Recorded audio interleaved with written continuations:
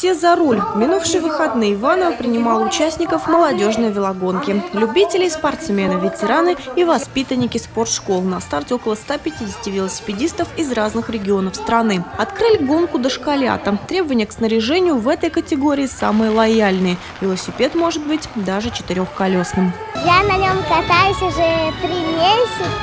Купил мне его папа. Удобный очень. Плюс молодого мэра полная самоотдача в любом начинании. В вип-заезде первым финиширует глава города Владимир Шарыпов.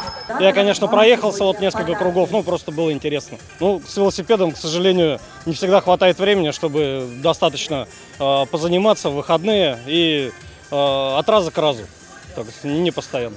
Ну а далее развернулась настоящая борьба. Маршрут гонки проходил по небольшому кольцу. Переулок Врачебный, улица Театральная, Почтовая, Варенцовой. Общая протяженность круга 750 метров. Здесь смысл не в том, не в длине дистанции, а смысл в количестве промежуточных финишей.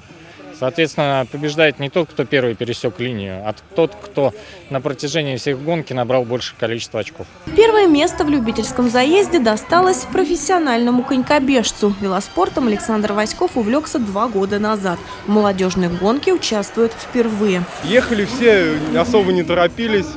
А, я на втором кругу дернул, отвалилось полгруппы. И так мы, по сути, человек 5-7 нас до финиша доехало. И все на последнем кругу, на последней прямой все места разделили. Вот, вот и тактика вся. 30 кругов напряженной борьбы. На дистанции спортсмены на гоночных шоссейных велосипедах. Им пришлось преодолеть почти 23 километра. Фаворитами стали гонщики из Коврова. Не особо сложно, это маленький километраж, потому что мы катаемся около 100 километров. Это нормальные тренировки для нас. Вот. Ну, чисто фини финиша были сложные так. А так в конце, когда мы уехали, уже было проще намного, потому что таких ну, резких работ не было. Соревнования по велосипедному спорту в Иванове проходили в три больших этапа. Индивидуальная гонка, соревнования на улицах областного центра и гонка преследования. Общие итоги турнира подведут по результатам трех заездов. Елена Белова, Денис Денисов, РТВ Иваново.